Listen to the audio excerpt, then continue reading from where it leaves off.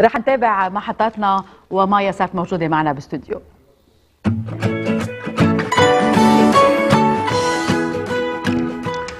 مايا اليوم آه، مثل العادة رح تكون معنا وجاهزة لحتى تتلقى اتصالاتكم مباشرة على الهواء إذا لحقنا إذا لحقنا لأنه عندنا كثير لأنه عندنا عندنا. عندنا موضوع؟ آه، عندنا موضوع الصديق الخيالي بدنا إيه. كمان نبلش فيه. هيدا اوقات ونحكي نحن فيه. بنحب يكون عندنا صديق خيالي 100% صديق خيالي حتى اللي نهرب من الواقع. بيقلق الأهل يعني اجمالا. انه دائما بنفكر إنه ما يقوم ابني بوشي إنه عم يتخيل إنه معه حدا قاعد حدا معه على الطاولة عم يلعب مع بدنا حدا نحضر له صحن كمان ثالث رابع مزبوط، مزبوط. حاسس إنه هيدا خلص هيدا الكرسي هيدا إيه بعض هيدي الاولاد عن جد بيقولوا له إنه. بده يقعد حدا مثلا. وبيعطوه اسم وإلى آخره فأول شيء بقوله للأهل ما ينشغل بالهم آه وجود الصديق الخيالي بحياة اولادنا شغلة كثير مألوفة شغلة كثير طبيعية كثير بنصادفها خاصة بأي أعمار آه يعني. هي أكثر شيء بأعمار صغيرة يعني مم. تقريبا بالأعمار اللي بتتراوح بين الأربع سنين أربع سنين ونص والست سنين بنشوفها هلأ. نحن بنشوف إنه من بعد عمر تقريبا ست سنين كل ما بيتقدم الولد الولد بالعمر يعني إذا بدي أحدد أكثر غيدا ما يتراوح بين ست سنين وثمان سنين خلص بتبلش قصة الصديق الخيالي ما بنعود نشوفها هو لحاله بيصير بيصير بينسى ما هيك؟ لحاله إيه. واساسا آه نحن مش كثير بنحبذ إنه من بعد عمر السبع سنين يكون في صديق خيالي لأنه من بعد عمر السبع سنين déjà الولد بيكون آه مفروض إنه يكون صار عنده حد أدنى من حياته الاجتماعية. آه ما يعود عم بفكر إنه كيف بده يعبي الفراغات اللي بحياته بصديق خيالي نوعا ما. بعدين لأنه المخيلة بتبلغ ذروتها بالتطور أكثر شيء بأعمار بتتراوح بين الأربعة والستة. إيه. هون المخيلة بتكون كثير ناشطة. يعني ال imagination تبع الولد قد ما بيكون قد ما بتكون نشيطة. آه، هون بيصير الولد يحكي عن صديق خيالي. ومثل ما كنا عم نقول هلا بعد شوي رح نخبر شو أسباب وجود الصديق الخيالي بحياة أولادنا. بس مثل ما كنا عم نقول آه، الولد حتى بيعطي اسم لهيدا الصديق. إيه. يعني الأهل بخبروك إنه أول مرة اكتشفوا إنه آه، الولد عنده صديق خيالي كان قاعد عم يلعب وشافوا إنه هو كأنه عم يلعب مع حدا. إيه. بالوقت اللي هو وحده. يعني مثلا سماه كيفن خليني أفترض إنه إيه كيفن خد أنت الليجو حطها بصير إنه عم ياخذ ويعطي معه إيه. وعم يتحدث معه. أكيد أول شيء الأم شوي آه، بتخاف شوي الأم إيه. أول شيء يعني أول شيء بتقرب إنه بتعرفي أول شيء بيخطر على بالنا حالات الهذيان أو إيه. إلى آخره. فبتقرب تسأل الولد إنه آه، مام مين كيفن آه، مين معك بالأوضة؟ مين كذا؟ هو بصير إنه بعض الأولاد ممكن يستحي بالأول. ما بعض الأولاد بيكونوا كتير صريحين آه، إيه. غيدا. يعني بعض الأولاد بيصيروا إنه مام كيفن إنه هيدا رفيقي عم بلعب معه خلص ماما ما تعيطي عليه أو ما كذا. بعض الأولاد التانيين مثل ما عم تقولي بيستحوا لأنه أكيد هن بيعرفوا إنه هيدا صديق خيالي. بيكونوا عارفين يعني هن أكيد. إيه. يعني منه واصل الولد لمرحلة إنه عن جد هو قاشعه لكيفن قاشعه بمخيلته. بس منا حالة آه، هلوسة بصرية إنه يكون هو قاشع شخص الغير مش آه، مش قاشعينه. عرفتي كيف؟ فإذا بنقول إنه شغلة كتير طبيعية مثل ما قلنا. آه ليه بينوجد الصديق الخيالي بحياة أولادنا؟ لأسباب مختلفة. هلأ أول شيء مثل ما قلنا السبب اللي كتير بدنا نبسطه هو غنى المخيلة عند الاولاد بتشبه قصة الولد يلي بيجي مثلا بحب مثلا إنه هو يكون كتير قبضاي وهو مش عارف يضرب أصحابه تنقول. بتشبه قصة هذا الولد اللي بيجي بيقول لك اليوم كسرتهم آه ما بعرف شو عملت فيهم مليون بوكس وكلهم صاروا يقولوا لي حمسوني وأنا كنت القبضاي يعني؟ بصير هو يتخيل إيه. هيدا الشيء تيعود عن إنه هو يمكن هو عم ينضرب يمكن هو حابب يكون هيدا ال hero مش قادر. آه بيخترع أشياء. قصة الصديق الخيالي بتشبه هيدي ال- الاختراعات بتشبه حتى غيدا اختراعات الأولاد يلي بيكون عندهم أهل منفصلين بتكون الأم مثلا تركتهم أو البي تركهم بيكون في فعلا قصة انفصال يعني محزنة بحياتهم.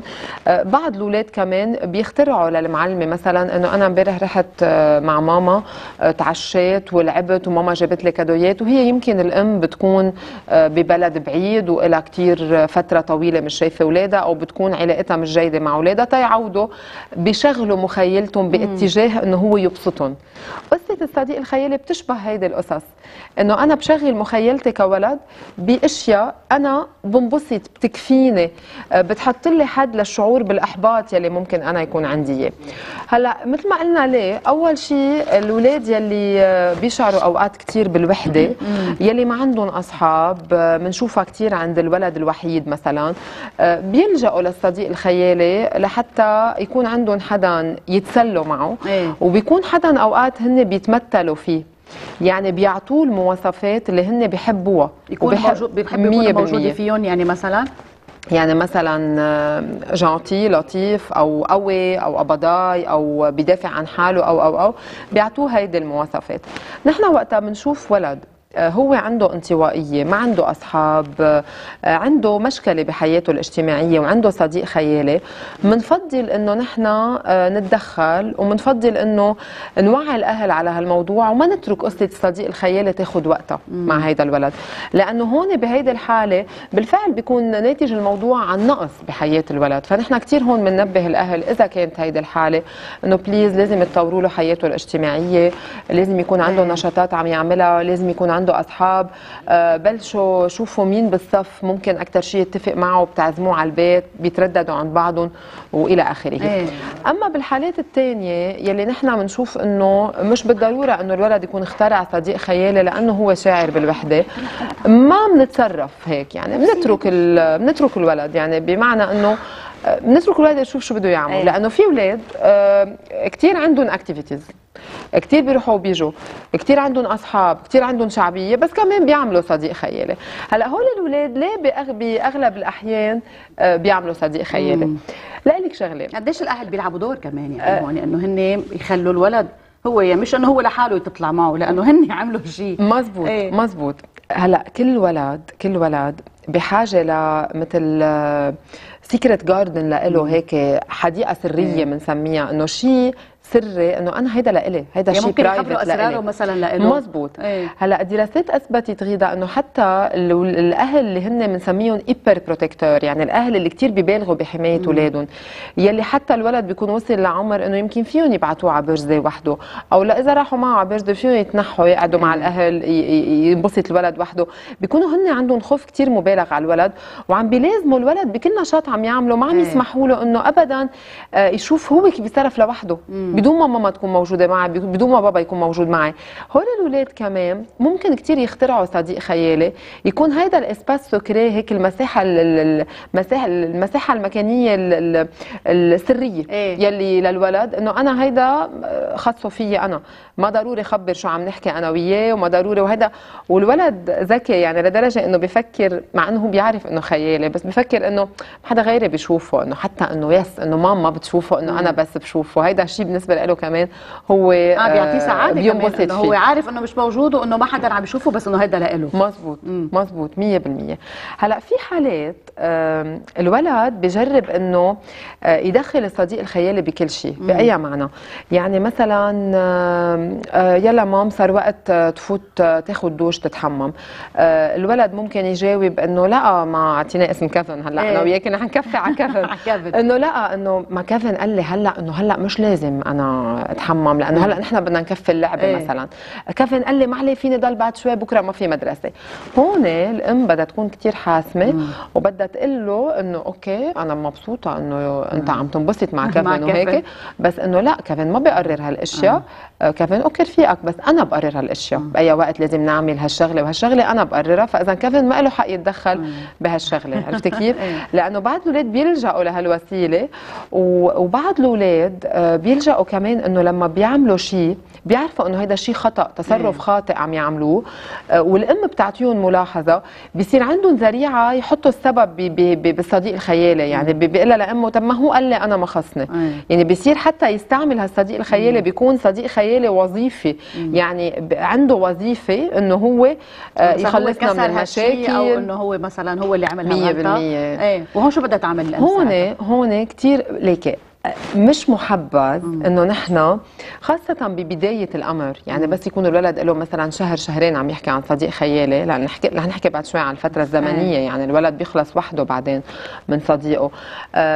ما بنحبذ إنه تقول له تطلع فيه وتقول له خلص ما, ما في كيفن ما مش موجود، انت عم عم تحكي يا مام هيدي كذبة هيدي لا خلينا نحترم مخيلة الولد أفضل، وهيدي مرحلة هو بده يمرق آه، فيها. كيف بدنا نحاسب كيفن و- مثلا إذا هو اللي كسر هالشغلة؟ ما justement إيه. هون بدك تقولي له إنه مام إنه لا أنت اللي كسرتها ما حدا غيرك كسرها. أنت اللي كسرتها لأنه أنا وياك قاعدين بالبيت وأنا شفتك إنه أنت دقيت فيها وكسرتها مثلا عرفتي كيف؟ فاذا هيدي الشغلة كثير مهمة إنه نحن آه نقدر ناخذ حل وسط انه أنت كسرت هالشغلة أو أنت اللي وقعت هول على الأرض أو أنت أو أنت. بدون ما أجي أنا إنه ازعجه بقصه إنه لا كيفن مش موجود وإلى آخره. آه ليه؟ لأنه ليكي إذا جينا نحن واجهنا الولد مش يعني هذا الشيء ما بيعني نحن عم نأذي الولد مش بالضرورة نأذي الولد بس لأنه نحن بنعرف إنه كل وظيفة إدراكية وكل وظيفة ذهنية عند الولد بتمرق ببعض السنوات أو بعمر معين آه، بيوصل تطورها للقمة. إيه. يعني بيكون فعلا هالتطور مارق بفترة. نحن بدنا نكون عم نساعد الولد وعم نعاونه وعم نتعاون معه ليطور هالوظيفة الإدراكية ما عم نصدمه. إيه. يعني بدي اجرب أنا كمان كأم أعطي شو فيني أعطي؟ تزيد هالوظيفة الإدراكية إنه تكون غنية أكثر نحن بنعرف إنه المخيلة بعدين بيستعملها الولد بحياته بكثير أشياء. صح. والمخيلة ما, بدنا كمان نقول بدنا نقول الحقيقة مثل ما هي إنه مخيلتنا نحن بتسمح لنا أوقات نتهرب من مشاكل الواقع. معينة صحيح. ومن واقع معين ومن مصيبة معينة يمكن تواجهنا مزبوط؟ فإذا هون إنه مثل قصة بابا نويل مثل هول القصص إنه ما بدي أنا أعمل له تروما للولد بدي أتركه. بس بنفس الوقت بدي أقول له إنه لا أنت اللي عملتها it's okay بتعرف إنه أنا بنبسط منك بس تقول إنه أنت اللي عملتها. وأنت ما بتتقاصص لأنك قلت إنه أنت اللي عملتها. إيه. بس أنت وقتها رح تجي تخفي الحقيقة وتقول لي خيي عملها أو هيدا عملها أو صديقي عملها. بالعكس أنا هون اللي حقصصك لأن أنت إيه. ما عم تقول الحقيقة بتكون. عرفتي كيف؟ هلأ الأهل شو لازم يعملوا؟ غيدا لما مثل ما كنا عم نقول إنه ما مزيحة إنه هيدا مطرحه بده يقعد حد مثلا إيه، أو على الطاولة مثلاً. 100% أو أوقات هيك القصة إنه يلا بدي أحط له سنتر قاعد حد بالسيارة أو كذا. مش غلط نمشي بالقصة مع الولد. مش غلط له مثلا يعني. نتركه يعمل اللي بده إياه. نتركه نعمل اللي بده إياه. بس وين وين بدنا نتنبه إنه صار في خطر؟ إيه. أوكي؟ أول شيء لما بتطول قصة الصديق الخيالي ما بقدر أعطي فترة زمنية بس إنه إذا بدنا نكون منطقيين إنه كل الاهل بيقدروا يفكروا إنه إذا الصديق الخيالي بده يتواجد بحياتنا لفترة أكثر من خمس ست أشهر إنه هذا الشيء منه كتير محبذ لأنه بيكون عم ياخذ مطرح الواقع بحياتنا. يعني إلا ما يوصل وقت ياخذ مطرح الصديق الحقيقي اللي لازم يكون موجود. فإذا بدنا ننتبه على هالشغلة. بدنا ننتبه لما الولد بيصير يترك أصحابه الحقيقيين ويترك حياته لأنه عم بيقضي وقته مع صديقه الخيالي يعني Mom أنا ما بدي أروح هلأ على المول معكم ما بدي أروح ألعب بهذا ال playground ما بدي أروح على ال birthday لأنه أنا قاعد عم بلعب معه مثلا. كمان هيدا بيكون خطر. هون نحن بنقول له إنه أوكي أنت بتنبسط إنه عندك هيدا الصديق بعدين بس يكون عندك وقت له بتلعب انت فينا. نقول له خده معك؟ بس هلأ جيبه هون معك ما- مثلاً أصلا ما بتضطر تقولي له. إيه. لأنه هو إذا بده يروح رح يقول لك إخده معي. عرفتي كيف؟ إيه. هلأ أوقات كثير إذا طولت القصة مثل ما قلنا بنقعد نسأل الولد نحن قبل ما نصدمه نحن بالحقيقة يعني. مثل ما قلنا هو عارف إنه خيالي بس قبل ما أنا أجرحه إذا بقدر أقول بين مزدوجين نحن بنسأله بنقول له إنه مام أنت لك فترة بتحكينا عن هيدا الشخص اللي اسمه كذا مثلا. طب وينه ما أنا مش عم شوفه؟ طيب أنت عم تشوفه طيب. طب انت عم تشوفه مزبوط شو لابس هلا؟ إيه. هيدا انت عم بتفكر فيه لأنه انت هيك حبيت إنه تتسلى أوقات كنت حاسس حالك وحدك. فينا نجي بهالطريقة معه عرفت كيف؟ فاذا بالختام بنقول غيدا إنه بس ننتبه إنه ما يصير هيدا عالم اولادنا إيه.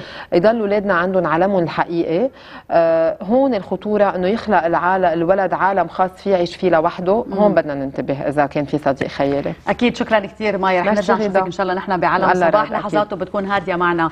خليكن معنا.